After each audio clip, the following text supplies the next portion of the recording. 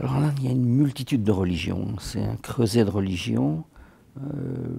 la très très grosse majorité des gens est de confession hindoue. L'hindouisme n'a pas d'interdit religieux fort sur l'alcool.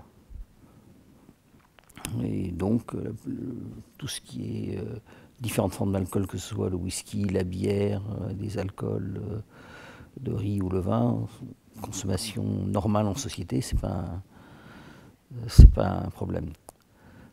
Il y a quelques autres religions. il y a une partie substantielle de la population qui est musulmane de confession, peut-être une quinzaine de pourcents, quelque chose comme ça. Mais là encore, pas, ce sont des formes d'islam qui sont relativement plus accommodantes et il a pas, ça ne pose pas vraiment un problème euh, euh, majeur. Il y, a, toujours, dans même chez les hindous, euh, quelques sectes ou quelques branches de l'hindouisme qui ont des comportements plus extrêmes, plus radicaux.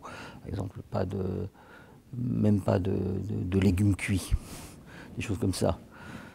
mais pour la majorité, de la population, l'alcool n'est pas un tabou. Socialement, c'est correctement vécu.